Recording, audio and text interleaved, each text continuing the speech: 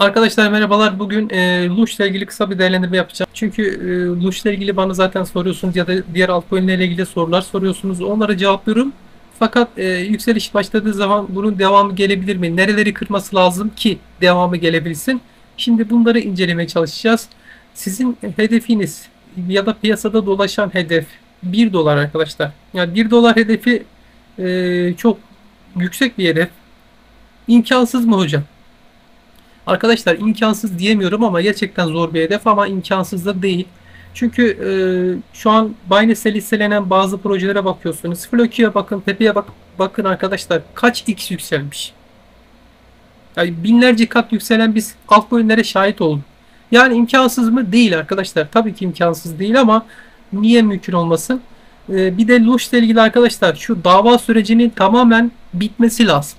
Bakın dava süreci tamamen bitecek Lush'taki şu an gördüğümüz o trilyonlarca adet var ya, trilyonlarca arz var ya işte onların neredeyse çok önemli bir kısmı o trilyonluk arzların e, çok önemli bir kısmının biz tamamen piyasadan kaldırıldığını şahit olacağız.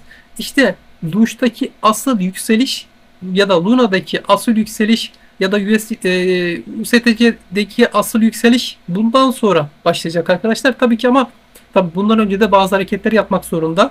Yani herkes o noktaya kadar diplerde tutamazlar arkadaşlar. Lush şu an için çok diplerde. Çok çok diplerde.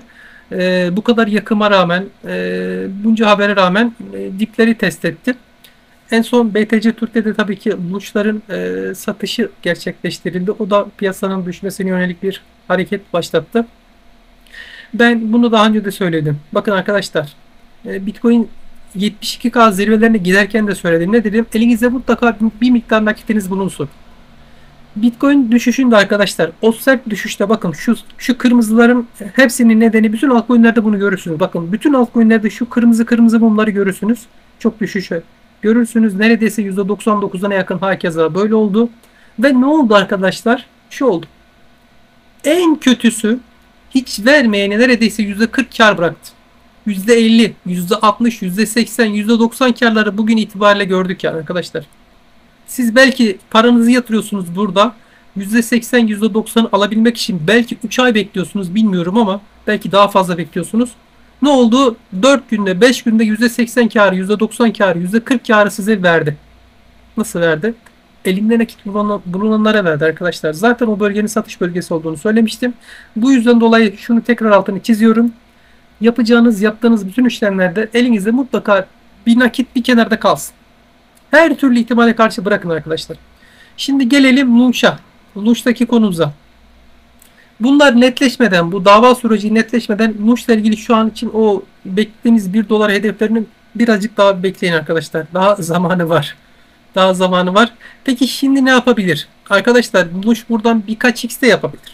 3-5x de yapabilir. Böyle bir potansiyeli var ama e, çok fazla baskıda arkadaşlar. Lush'ta hani çok fazla baskının olduğunu, muazzam bir baskının olduğunu söyleyebilirim. Yani çıkartmak istemiyorlar şu an için. Belirledikleri bir hedef var. Ama tabii ki baskıda bir yere kadar arkadaşlar. Bakın aynı bölgeleri biz test ettik. Aynı bölgelerde 3x'lere şahit olduk. Size bu bölgelerde e, kendimi yırttım arkadaşlar. Batan geminin malları bakın çok ucuz. En kötü şunları şunları bekleyebilirsiniz dedim.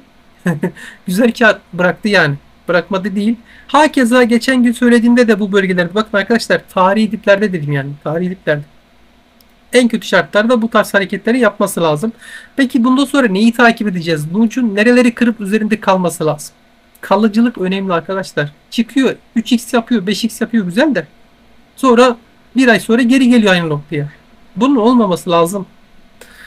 Şimdi tabii bunun olmaması için de piyasaya güven vermesi lazım arkadaşlar e, bazı şeylerin bazı soru işaretlerinin artık akıllarda silinmesi lazım, netleşmesi lazım. Lush'tan bahsediyorum özellikle. Peki Lush'ta şu an ne bekleyebiliriz? Hatta grupta da paylaştım. Şunları şunları takip edin nok dediğim noktaları geldi arkadaşlar. Bundan sonra ne var?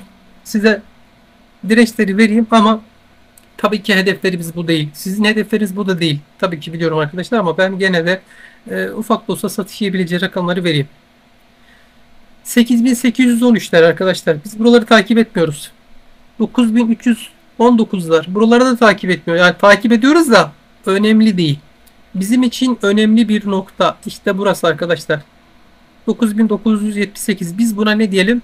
1-0 atmak. Yani 3 e, 3-0-1 arkadaşlar. 3-0-1. Bu bölgenin üzerinde kalması lazım. O birinci şartımız bu. %20 yukarısı. Sonra yukarıda da direnç bölgesi var ve güçlü direnç bölgesi var.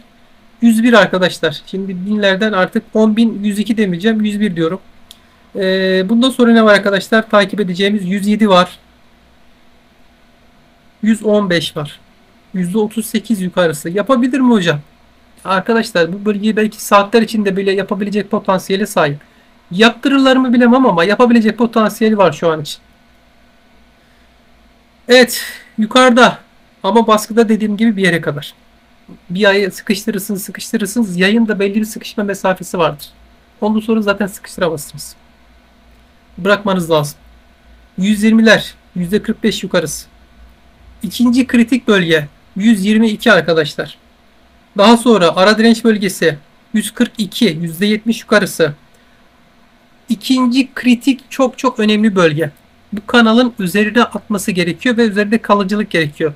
151 arkadaşlar. 151'in üzerine atıp kalabilirse bu kanala girebilirse ondan sonra olmuşta tabii ki de arada da çok fazla direnci var ama işte şu hedefler sonraki kanal hedefleri olabilir. Bunlar tabii ki kademeli arkadaşlar. Kademeli birini kıracak sonra diğerini bekleyeceğiz. Bakın aynı bölgeleri test ettik ve burada ne yaptı? Burada kaç günde bunu yaptı? 1, 2, 3, 4, 5, 6, 7, 8, 9 günde arkadaşlar. 9 günde start verdikleri zaman hatta biz buna yaklaşık 12 gün diyelim alttakilere de aldığım şey. %300'den fazla yükseldi. Bunu bir hafta, biz buna bir hafta diyelim. Bir haftada ne yapar? Ee, eğer bu şekilde devam edebilirse, çok fazla aşağı getirmeler getirmezlerse, baskı devam etmezse yapabilecek şu hareketleri yapabilecek potansiyeli var. Yani sizin o beklediğiniz hedefler için ne kadar yükselmesi lazım? Yani çok yolumuz var arkadaşlar. Bakın grafik küçüldü. Hala gidiyoruz. Hala gidiyoruz. Şu an 100 kat yaptık. Bakın arkadaşlar. 100 kat yaptık daha olmadı. Şu an 1 sent olduk 130 kat yaptı. 1 sent olduk 130 kat yaptı. İşte yaklaşık olarak hemen hemen 2 aşağı 5 yukarıda e, 1000 kattan birazcık fazla arkadaşlar. Yani bunun 10 katı yapacak neredeyse e, sizin 1 dolar hedefinize gitmeniz için. İmkansız mı? Tabii ki imkansız değil. Tabii ki mümkün olan hedefler. Bakın arkadaşlar Fluki 1700 kat mı yükselmişti? Niye olmasın? Mümkün olmayan hedefler değil ama arkadaşlar dediğim gibi soru işaretlerinin bir ortada kalkması lazım ya. Onlarla olmaz. Ama tabii ki şu an gidip de bunu beklemeyin ha. Böyle bir şey beklemeyin arkadaşlar.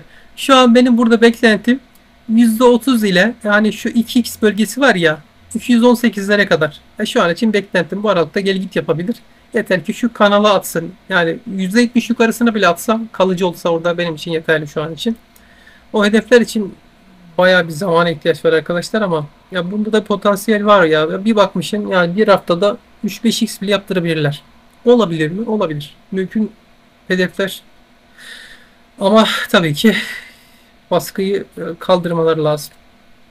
Arkadaşlar şu an için söyleyeceklerim bunlar. Ee, bunlar tabii ki benim kendi yatırımlarım. Bunlar kendi beklentilerimdir. Bunlara göre ya da başkalarından duyduğunuz şeylere göre kesinlikle yatırım yapmayınız. Yatırım yaparken şuna çok dikkat edin. Borç parayla, kredi parasıyla işlem açmayın arkadaşlar. Bunu çok duyuyorum. Defalarca duyuyorum ve hala duyuyorum. İşte param yok işte çok büyük kazanacağım, çok iyi kazanacağım. Ee, şu coin'i alayım, kredi çekeyim kredisi zamanında ödemesi gereken faiziyle çok fazla faiziyle ödemesi gereken bir paradır biliyorsunuz ki. E, siz yatırırsanız bekletebilir. Yani her an her zaman çıkacak diye bir kural yok. Alır sizi içeri, içeri alır bekler. Aşağı gelir bekler. Size panik satış yaptırır. Perişan eder sizi. Bu yüzden dolayı da bakın bana çok soruluyor. Kredili işlemlere girmeyin arkadaşlar. Paranız varsa girin. Şu an Muş'ta ilk bekleyeceğim. Şu bir sıfır olayı var ya bakın arkadaşlar şu kritik çizgi üzerine atsın yeter ki. Şu an için mevcut durum budur. Aşağıdaki iki tane Telegram grubuna da katılın arkadaşlar. Görüşmek üzere. Hoşçakalın.